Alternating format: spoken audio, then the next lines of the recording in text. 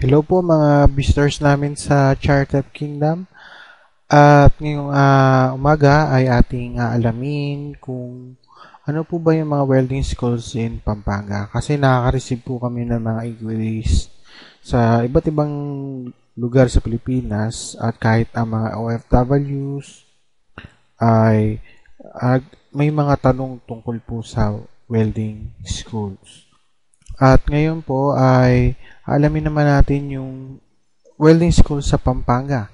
Para hindi na ba magtagal ay nandito po yung address na or post or page nung saan mahanap nyo po yung mga listahan ng mga welding school sa Pampanga.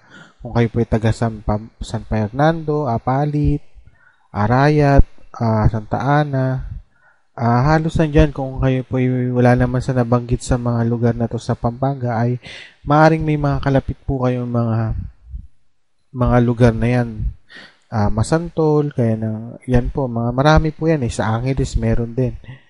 At uh, mga sa Balibago, San Fernando, uh, Mabalacat. So, yan po.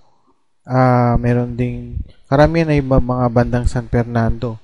Kung kayo po ay malapit siya sa mga lugar na yan, ay pwedeng po kayong mag-aral ng TESDA sa mga TESDA accredited school.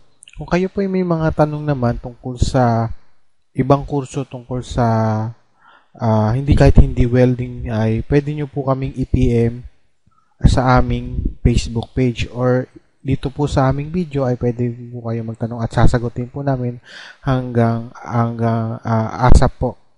At i-like nyo lang po ang aming FB page at i-PM nyo po ang inyong mga tanong. Basta sasabihin nyo lang po kung ano po yung course na gusto nyo i-take or mag-training at kung taga saan po kayo at hanapin po natin ang pinakamalapit na TESDA school o TESDA credit school sa inyong lugar.